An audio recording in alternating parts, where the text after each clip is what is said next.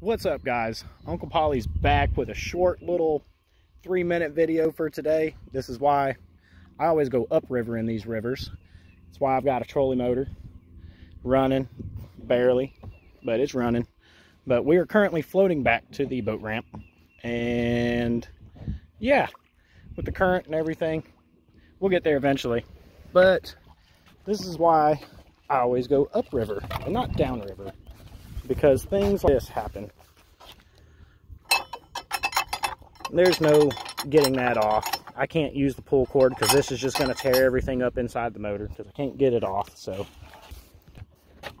slow ride back, testing the new boat.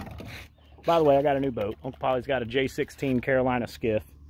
Uh, we'll be rigging it here shortly with catfishing equipment and whatnot. So you'll be seeing this boat quite often on the channel. I'm still going to be keeping the old little boat. Be using that to go up in these little sloughs and stuff that I can't really get in with other boats. So that's about it. It's a long wait back. Bring water with you. Stay hydrated.